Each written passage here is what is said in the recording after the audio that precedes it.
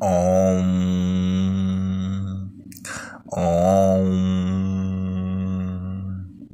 Om. Joãozinho, o mundo acabando, todo mundo adoecendo dessa doença aí, esse tal de corona, e você fica aí.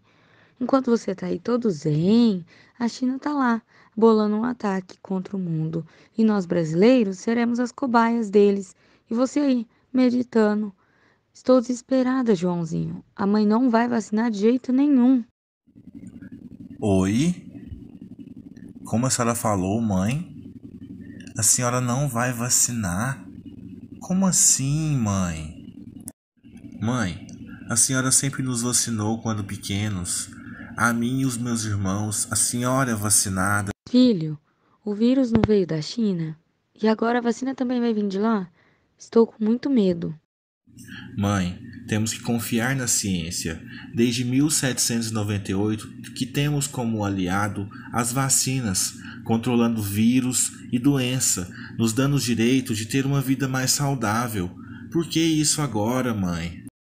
Mãe, a ciência é muito importante em todas as vertentes da vida e da evolução das espécies. Temos que confiar e apoiar a ciência, pois será dela que virá a nossa salvação.